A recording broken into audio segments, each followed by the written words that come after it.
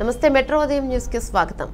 కరీంనగర్ జిల్లా ఇల్లంతకుంట మండలంలో శ్రీ సీతారామస్వామి దేవాలయం వారి ప్రాంగణంలో ఈ రోజున నాలుగు జిల్లాల వైష్ణవ సేవా సమితి ఆధ్వర్యంలో శ్రీ శేషమాచార్యులు రవికుమార్ ఆచార్యులు డింగరి శ్రీధర్ ఆచార్యులు శేషం వంశీధరాచార్యులు వీరి ఆధ్వర్యంలో ఈ రోజున బ్రాహ్మణ కుటుంబంతో సహా ఈ సమావేశానికి సుమారు నాలుగు వందల మంది రావడం జరిగింది. ఇట్టి సమావేశానికి ముఖ్య అతిథులుగా రాష్ట్ర కార్యదర్శి శ్రీమన్ సేనాపతి మోహన్ ఉపాధ్యక్షులు మధుమోహన్ ఆచార్యులు మరియు జిల్లా కార్యదర్శులు వచ్చి ఈ సభను సమావేశాన్ని విజయవంతం చేసినందుకు ప్రతి ఒక్కరికి పేరు పేరున మా ఇల్లంతకుంట తరపున దేవస్థానంలో అందరికీ వందనాలు తెలిపారు. ప్రతి ఒక్కరూ సేవాభావంతో భగవంతుని దీవెనలతో పనిచేయాలని వారు కోరారు.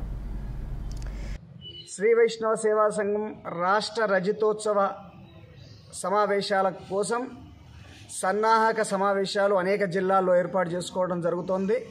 అందులో భాగంగా ఈరోజు నాలుగు జిల్లాల సన్నాహక సమావేశం శ్రీ వైష్ణవ సేవా సంఘానికి సంబంధించిన సన్నాహక సమావేశం.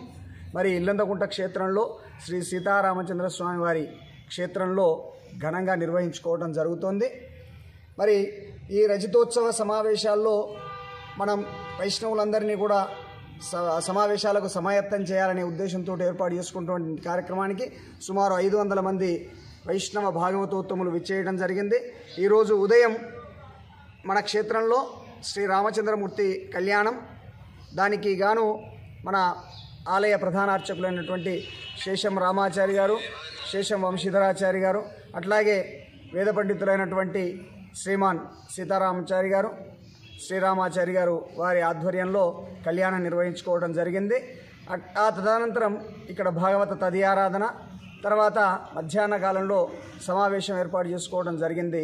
ఈ సమావేశంలో పాల్గొన్నటువంటి మా రాష్ట్ర నాయకులు కావచ్చు జిల్లా నాయకులు కావచ్చు జరిగేటువంటి సమావేశాలు ఏవైతే ఉన్నాయో అవి వైష్ణవులందరికీ కూడా ఉపయుక్తంగా ఉండాలనే ఉద్దేశంతో మరి ఉన్నటువంటి వైష్ణవులందరిలో కూడా అంటే అందరూ సమానమైనటువంటి స్థితిలో లేరు గనక అందరి సమాధరణ లేకపోతే అందరూ సమానమైనటువంటి స్థితిలో ప్రశాంతమైనటువంటి జీవితం గడిపే అనేక మంది రాష్ట్ర నాయకులు మరియు నాలుగు జిల్లాల అధ్యక్ష కార్యదర్శులు పాల్గొన్నారు.